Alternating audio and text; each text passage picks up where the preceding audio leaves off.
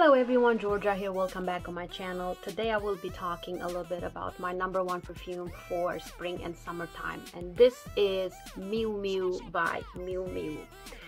Miu Miu is a company that is a subsidiary of Prada. And this is actually their first perfume. It was launched in 2015 and it's a floral fragrance.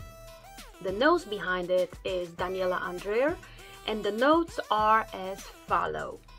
Lily of the Valley, of course, bergamot, lemon, green notes, rose, jasmine, black currant, peach, akigala wood, and white musk. Now, to me, this perfume feels like a lily of the valley field, like you're right there. That's what it brings you. So if you love lily of the valley, this is probably the best well-made lily of the valley scent on the market, in my opinion, of course. Lasting power is great, around 5, 6, 7 hours, maybe 9 hours sometimes. It depends how much you apply or where you apply it.